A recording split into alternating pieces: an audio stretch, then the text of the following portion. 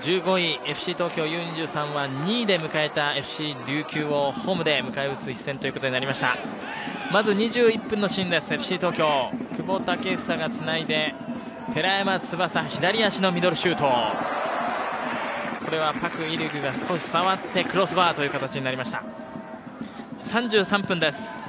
琉球の攻撃右サイドから。うまく枝本がコントロールしたところ PK のジャッジ。ジャキットが倒してしまいました。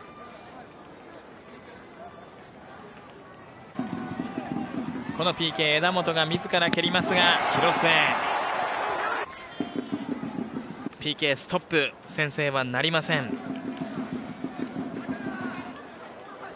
矢島が少し蹴る方向を指示してましたけれども広瀬しっかり止めました。43分です。小川のクロス原のヘディングこぼれ球矢島が飛び込みましたがこれはパク・イルグが抑えています。小川亮也のいいカットからという形。ただゴールならず0対0での折り返し。後半の立ち上がりでした。ジャキットが後ろに戻したボール。和田亮が飛び込んで先制。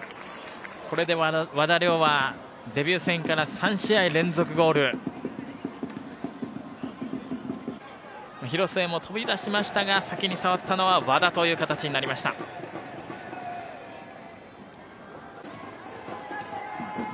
62分です。コーナーキック。品田のキックに矢島喜一。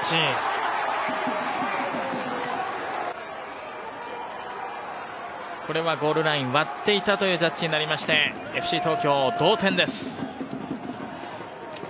頭、そして肩でも押し込んだようなヘディングシュートになりましたが気持ちでねじ込みました矢島喜一です。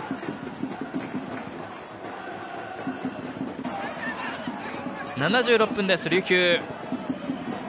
枝本から後ろ富所。広末右足。